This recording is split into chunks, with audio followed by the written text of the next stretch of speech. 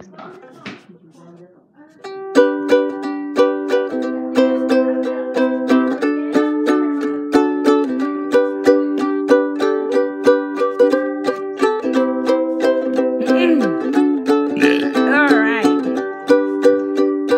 Am so bored and sitting in PAC. Karen got kicked right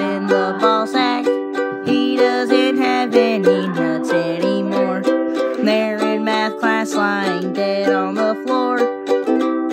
Poor Kieran doesn't have any balls. It's getting hard to stay awake. Please let me out for goodness sake. I don't know why I'm in this class. Mr. Schmidt can kiss my chicken tenders. It's so unfair